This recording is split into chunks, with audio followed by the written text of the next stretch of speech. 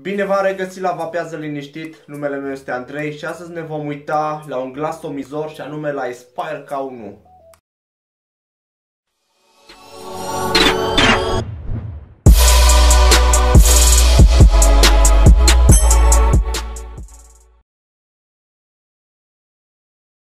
Odată cu lansarea acestui glasomizor, a fost lansată și rezistența BVC pe care o folosim astăzi. O să vedem pe close-up o mică comparație între rezistența BVC de pe K1 și rezistența BVC de pe un Nautilus 2.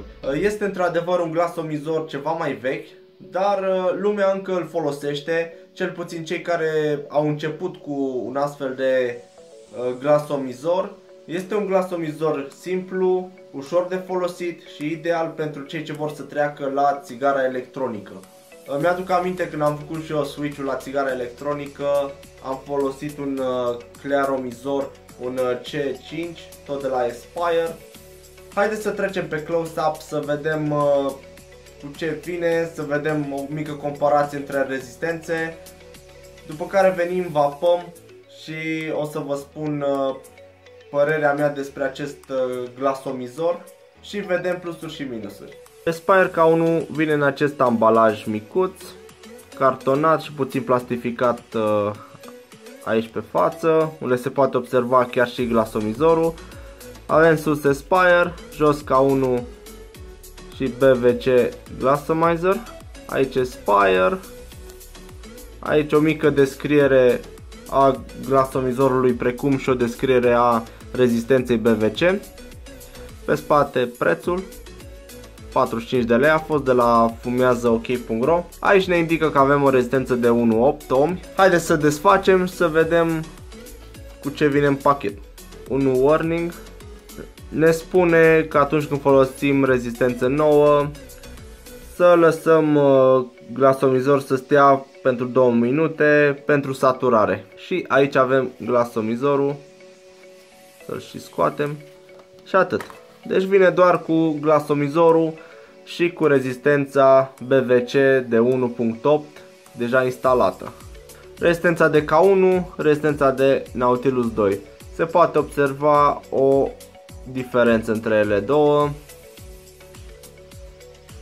Haideți să vedem câteva specificații despre acest glasomizor. Avem un Pyrex Glass aici, avem uh, un muștiuc din stainless steel, avem un diametru de 14,5 mm, o înălțime de 72 mm și o capacitate de lichid de 1.5 ml și o greutate de 31 de grame, spun cei de la Aspire pe pagina lor oficială.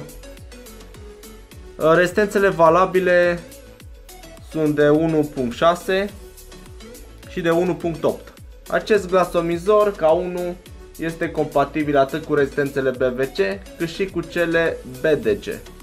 Avem un airflow neajustabil format din aceste două găuri, aici una, iar pe partea altă încă una. După cum putem observa, acest glasomizor a fost gândit să fie pus pe o baterie Ego. Uh, din păcate nu vine cu un adaptor pentru a-l putea pune pe un mod. Haideți să-l umplem cu lichid și să vapăm. O să-l umplu cu Max Apple de la Aramax. Un VGPG 5050.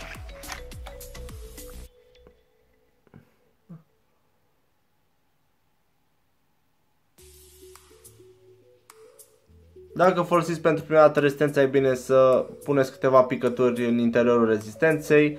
Eu am mai folosit această rezistență, așa că am să trec de acest pas. Haideți sus să vapăm și să vedem ceva plusuri și minusuri. Bun, am revenit de pe close-up să pun și eu glasomizorul pe mod.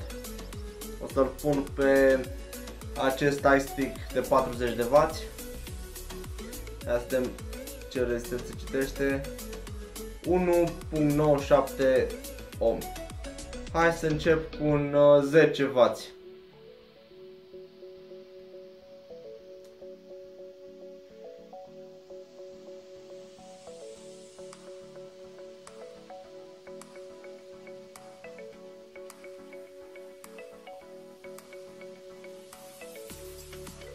Hai să mai ridicăm un pic vatajul.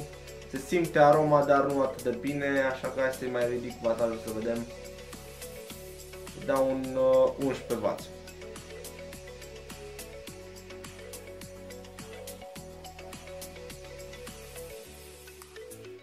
Deja simte mai bine.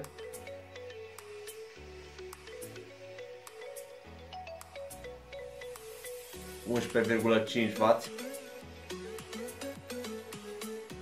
Nu e rău, sincer nu e rău, pentru un glasomizor e chiar fain.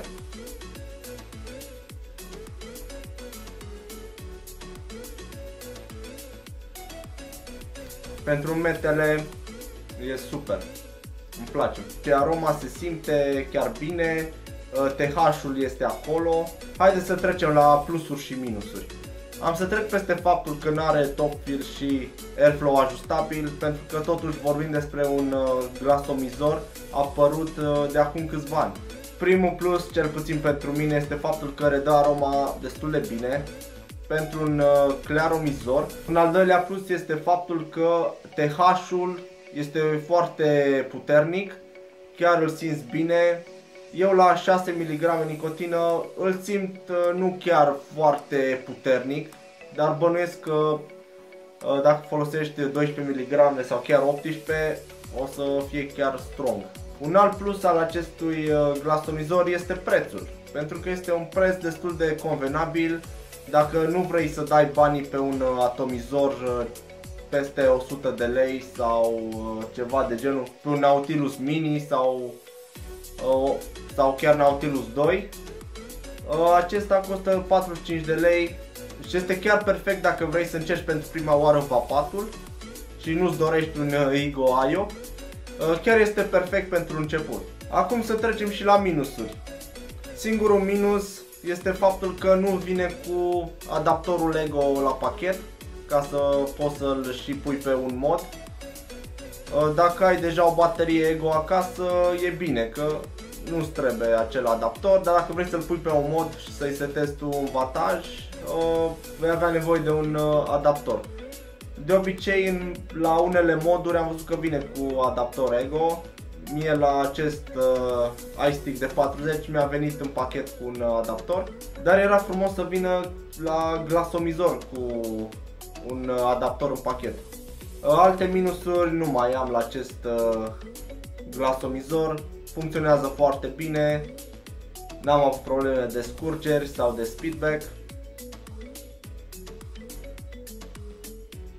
Bun, acum ca și concluzie, din punctul meu de vedere, își cam merită bănuții. Da, din punctul meu de vedere, este un uh, glasomizor chiar bun, rezistența este BVC, deci e o rezistență bună, aroma e acolo. Cam asta a fost prezentarea lui Aspire K1. Numele meu este Andrei, tu te-ai uitat la Vapează Liniștit. Dacă ți-a plăcut, nu uita să lași un like, să te abonezi pentru mai multe prezentări. Vă salut și ne vedem data viitoare!